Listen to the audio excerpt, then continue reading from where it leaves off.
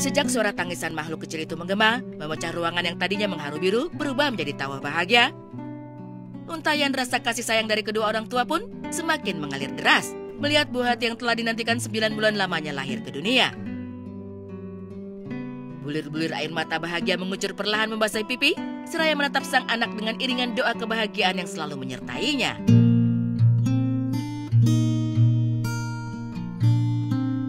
Setiap orang tua tentulah akan memberikan yang terbaik bagi anak-anaknya. Dengan peluk keringat yang mengucur, mereka rela melakukan apa saja untuk mencukupi segala kebutuhan sang buah hati agar senantiasa hidup dengan rasa nyaman dan juga sejahtera. Namun sayang, kehidupan yang sempurna tersebut tidak dapat dirasakan oleh sejumlah keluarga di luar sana. Ada yang harus rela banting tulang untuk mencukupi kebutuhan sang anak. Bahkan dari segelintir cerita mengenai perjuangan keras orang tua, terdapat cerita beragam yang membuat siapa saja terharu melihatnya. Salah satu kisah yang menjadi inspirasi ialah ketika sejumlah orang tua yang tengah mencari nafkah, namun harus membawa sang anak untuk ikut bekerja dengan dirinya. Alasannya pun beragam, mulai dari tidak bisa meninggalkan anak seorang diri di rumah, hingga ada kisah suami yang ditinggal oleh istrinya. Mau tak mau, demi menjaga buah hati kecilnya, sejumlah orang tua ini tak sungkan untuk memboyong anaknya ketika hendak bekerja. May it be an evening star.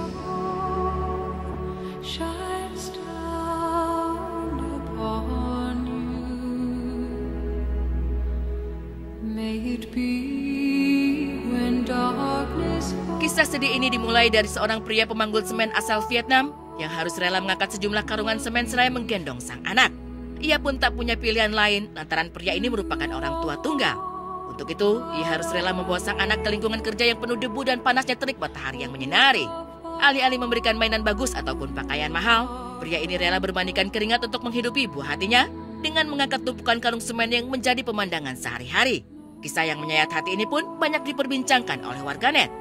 Tidak sedikit yang merasa haru dan iba akan apa yang dilakukan oleh pria tersebut.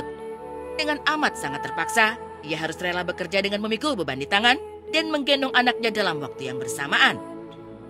Seperti itulah kasih orang tua yang tak terhingga, menjaga dan senantiasa merawat buah hatinya untuk mendapatkan kehidupan yang berkecukupan. Namun sayang, apa yang dilalui oleh pria asal Vietnam ini harus melewati kerikil tajam kehidupan.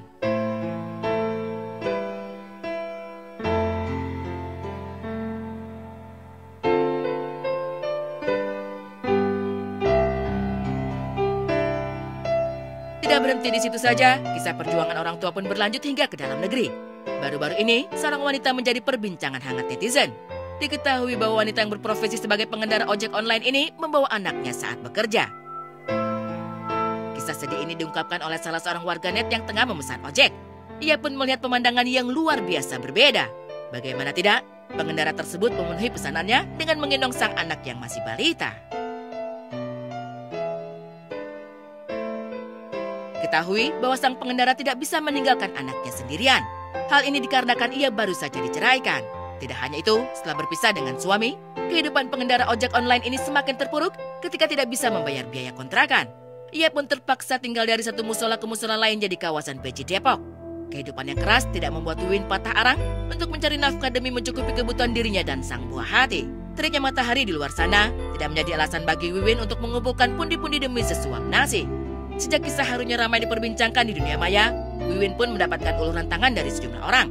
Tidak hanya itu, kisahnya ini turut mendapatkan respon dari sesama pengendara ojek online. Mereka pun memberikan bantuan seadanya dan menawarkan untuk menetap sementara di salah satu rumah pengendara ojek online.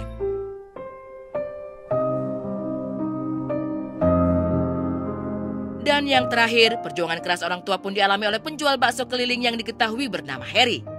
Pria asal Malang ini diketahui membawa sang anak yang masih berusia 2 tahun saat bekerja. Dengan gerobak motor biru yang dibawa setiap harinya, Harry selalu ditemani buah hati kecilnya. Hal ini pun terpaksa ia lakukan lantaran ibu si bayi sudah pergi meninggalkannya. Yang membuat haru, selain membawa buah hatinya menyusuri setiap sudut Gading Rejo Pasuruan, Jawa Timur, Harry pun pernah tertidur di emperan Masjid Jalan Raya bersama buah hatinya. Seperti itulah potret kehidupan yang dilalui oleh sejumlah orang tua di luar sana. Demi satu alasan, alasan untuk memberikan kehidupan yang berkecukupan bagi buah hatinya.